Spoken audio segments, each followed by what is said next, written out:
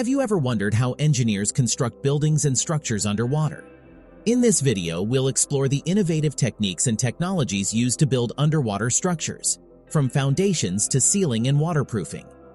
Humans have been building structures underwater for centuries, but the challenges of working in the marine environment require specialized knowledge and equipment. Let's explore the innovative techniques and steps involved to build underwater structures. Now here is a fun fact. Did you know that the largest underwater structure in the world is the Burj Khalifa? Although the Burj Khalifa is known primarily as a towering skyscraper on land, it actually has a submerged component as well. The building's foundation extends 50 meters below the surface of the Persian Gulf. There are several different techniques used for underwater construction, depending on the specific project requirements and site conditions. Let's take a look at some of the most common techniques. Scuba diving is one of the oldest and most traditional methods of underwater construction. Divers equipped with specialized tools and equipment are able to work underwater for extended periods of time to perform various tasks such as cutting, drilling, and welding. This method is commonly used for small-scale projects such as underwater repairs, inspections, and maintenance. A cofferdam is a temporary enclosure that is installed around a construction site to keep water out. Workers then pump out the water from within the enclosure to create a dry work environment. This method is commonly used for building bridge piers or performing repairs on existing structures. Now let's dive into the steps involved in underwater construction. This video is divided into different sections to help you understand better. Section 1. Challenges of building underwater structures. Building structures underwater presents a unique set of challenges that engineers must overcome. The harsh marine environment, which includes saltwater corrosion, high pressure, and unpredictable currents, can be detrimental to structures. The constant exposure to saltwater can lead to corrosion and weaken structures over time. High pressure can also be an issue, particularly for structures built at significant depths. As the water pressure increases, so does the stress on the structure, which can cause deformations or even collapse. Lastly, unpredictable currents can cause instability, and make it difficult to work on the structure. Section 2. Site Survey and Preparation Before any construction can begin, engineers must conduct a site survey and prepare the area for construction. They must take into consideration the topography and geology of the seabed, as well as any obstacles or debris that may interfere with construction. This information is used to plan the placement and design of the structure. The site is then cleared of any debris and leveled to provide a stable base for construction. Section 3. Foundation Installation The first step in building an underwater structure is to install a foundation that can withstand the weight of the structure and the forces of the surrounding water. The type of foundation used depends on the conditions of the seabed and the structure's design. There are several methods of foundation installation, including driving piles into the seabed, caissons, etc.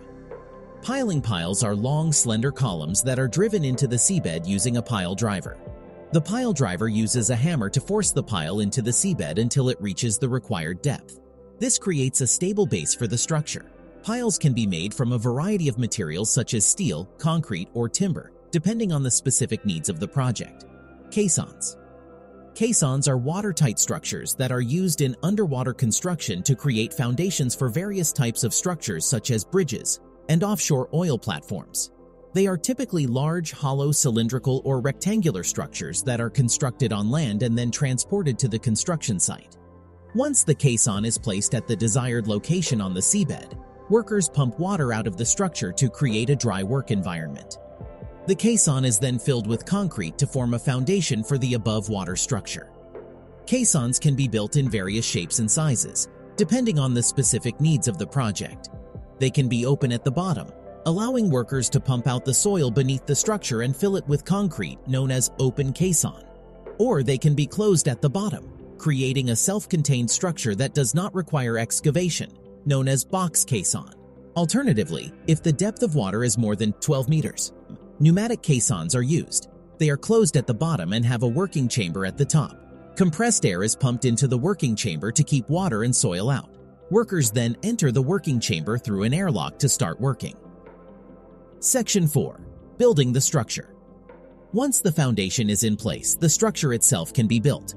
Construction materials vary depending on the purpose of the structure and may include concrete, steel, or other materials. Workers use specialized equipment such as underwater welding tools and hydraulic jacks to connect the pieces of the structure together. One of the most significant challenges in building underwater structures is maintaining visibility. Water can quickly become murky, making it difficult for workers to see what they're doing. To combat this, underwater construction often takes place in controlled environments like underwater habitats or diving bells. These structures provide a clear workspace and allow workers to perform their tasks safely. Section 5. Sealing and Waterproofing To ensure that the structure is watertight, workers must carefully seal all joints and connections. This can be done using a variety of techniques including welding, grouting, and the application of specialized sealants. Welding involves melting two pieces of metal together using heat. Underwater welding is a specialized technique that requires a waterproof welding chamber to be placed over the area that needs welding. Inside the chamber, workers can safely weld the pieces of the structure together. Grouting is another technique used to seal joints and connections. It involves injecting a mixture of cement and water into gaps and crevices between structures. This creates a waterproof barrier that helps to prevent water from penetrating the structure. In addition to welding and grouting, workers may also apply specialized sealants to joints and connections. These sealants are designed to withstand the harsh marine environment and provide an additional layer of protection against water infiltration. Section 6. Maintenance and Inspection Once the structure is complete, it's important to maintain and inspect it regularly to ensure its longevity and safety. This includes regular inspections to check for corrosion, cracks, or other damage. If any issues are identified, they must be addressed immediately to prevent further damage. One of the challenges of maintaining underwater structures is that repairs often have to be made in situ, which requires specialized equipment and training. For example, underwater welding requires specialized equipment and trained professionals to carry out repairs. Here is another fun fact. Did you know that the largest underwater construction project in history is the Seikan Tunnel in Japan? This tunnel stretches over 33 miles and connects the islands of Honshu and Hokkaido. It took over 15 years to build and cost over $7 billion. Thank you for joining us. We hope you learned something new about the steps, challenges, and techniques involved in underwater construction. Also, don't forget to like and subscribe to Civil Mentors for more fascinating content like this.